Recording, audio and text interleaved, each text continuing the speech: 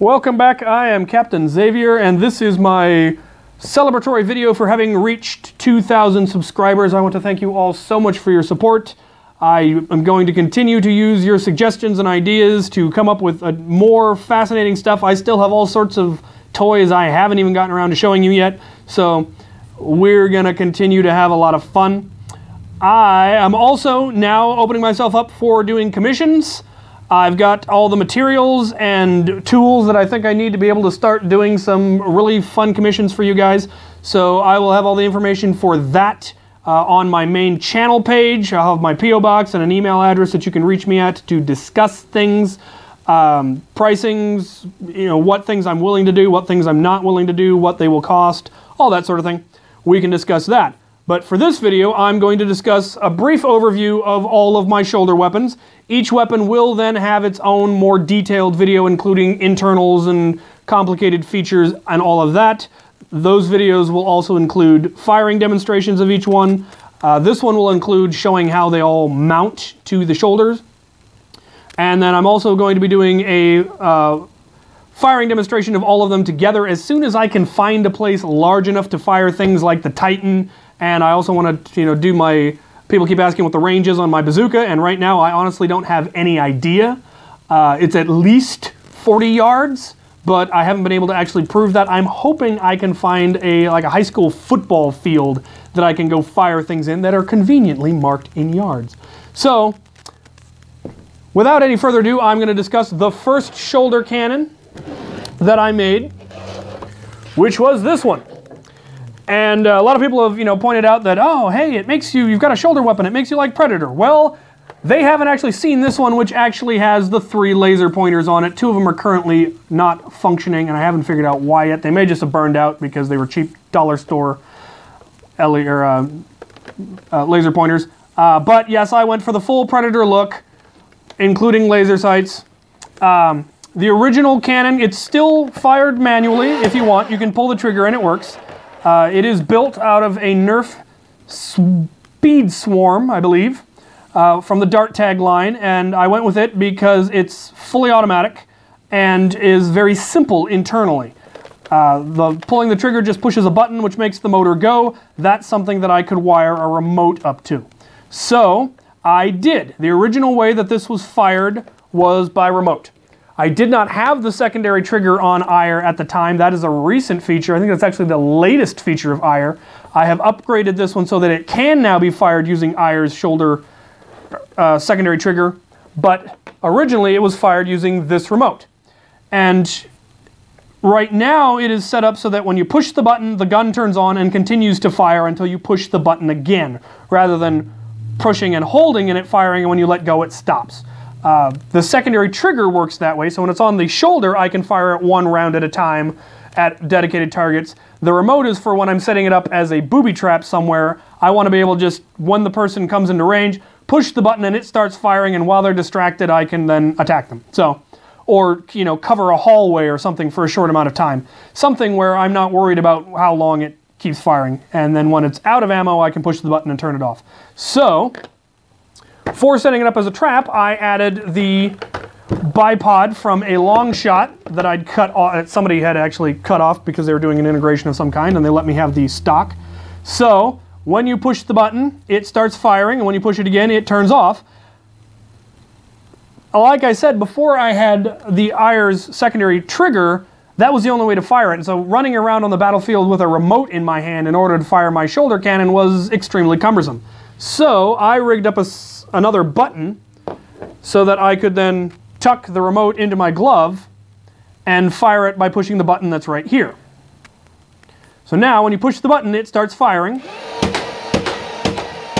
And when you push the button again, it stops.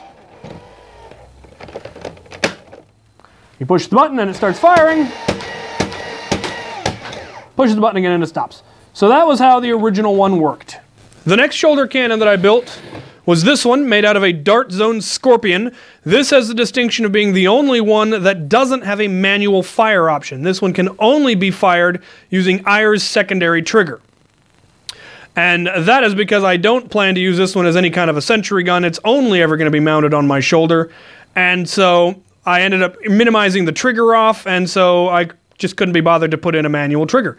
Uh, it is very neat in that the barrel does rotate and it's belt fed. It looks just wicked on the shoulder. Uh, for the people that said that I looked more like um, War Machine than the Predator, this is the one that makes me look like War Machine. And it fires, as I said, using Eyer's secondary trigger. So we'll bring Eyer up here for a second. The plug for it is on the back right there. There is then a, an on switch which turns on the flywheels. So I can, while in combat, I'd reach up and turn on the flywheels, and it just stays on. And then when you pull the trigger, the barrel rotates and the belt feeds.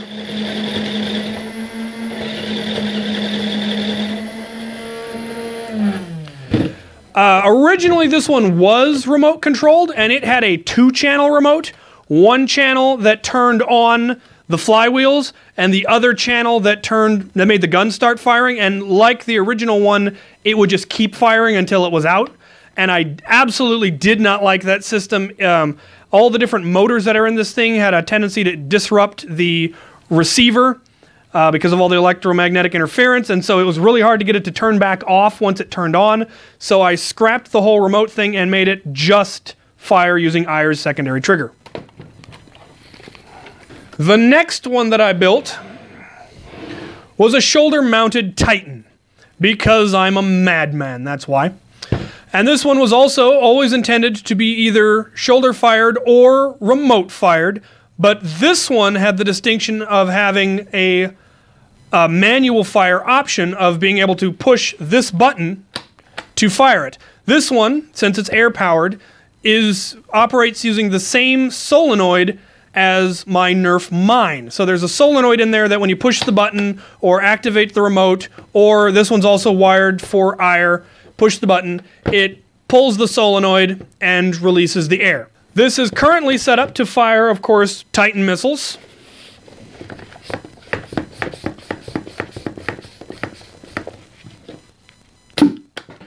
But the Titan never did fire its rockets particularly far, and I wanted something with more versatility, more modularity, if you will. And so I made it fire, you guessed it, any and all of Eyer's attachments.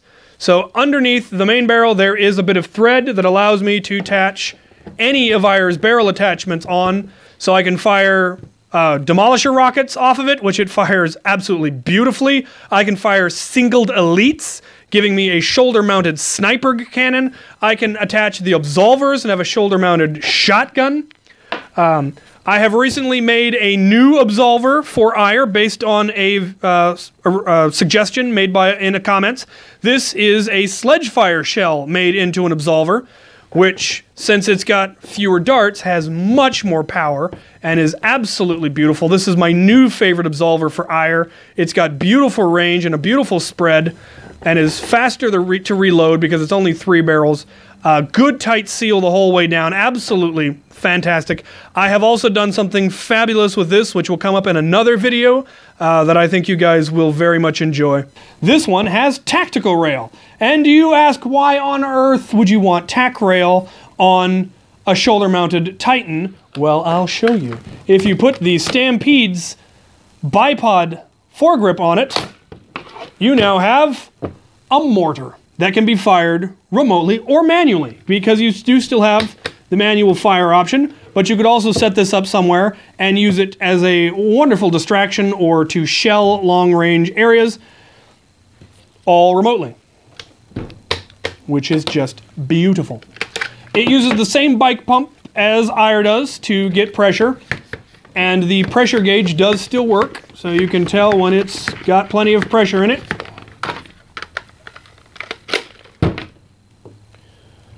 You then fit whatever attachment you see fit to put on it and fire away. God, that thing works beautifully.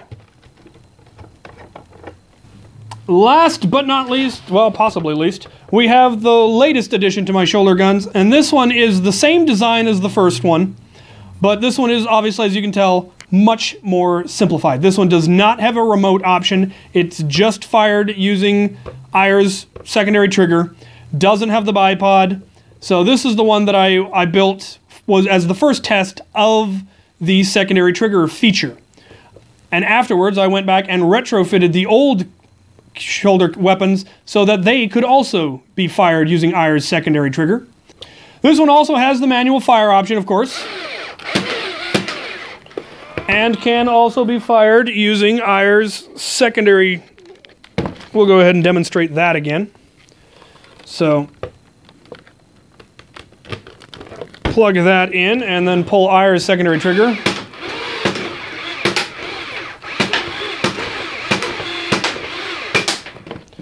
Which is nice because now you have the option of firing it one round at a time if you feel like it. Now I'm going to show you how they actually mount to the body armor. Alright, this is the shoulder mount on my plate carrier. The original one was a piece of ABS pipe that I heated up and molded the Speedswarm handle into. I then later added the magnet for the other additions and altered the design a little. Add a little Longshot bipod for decoration. And then of course the cable, which runs down the sling that Eyre then attaches to. And that's how it's fired. The original one just fits in and locks in place. And then the cable gets plugged in on this side. And then when you pull the trigger, that's how it fires. Fairly simple. You can reach up and unplug it and pull it off to use it as a mine. The Scorpion design is the one that really makes me look like War Machine, that I'm really quite pleased with. Then when you turn on the Scorpion and pull the lower trigger, it shoots. Finally, we have the Titan, which also locks on with magnets. And the way I designed it, the original little sight looking thing happens to line up right with my eye. So I can actually lean over, look through it like I'm actually sighting it, reach up and push this button to fire it if I'm using it like a sniper rifle, or I can fire it using Eyre if I've got an absolver on there and don't really feel like aiming. Um, it also then pops right off and you can put the bipod on and set it up as a mine if you so desire. The latest one, of course, is the simplest. Like I said, it just fits on, plugs in, and fires away. There you have it. I'll be doing outdoor firing videos as soon as I can find a large enough venue. I will also be doing build videos on each and every one of these, so be patient. Uh, if you have any questions, comments, ideas, just want to call me a huge nerd, you go right ahead in the comments below. And as always, thank you for watching.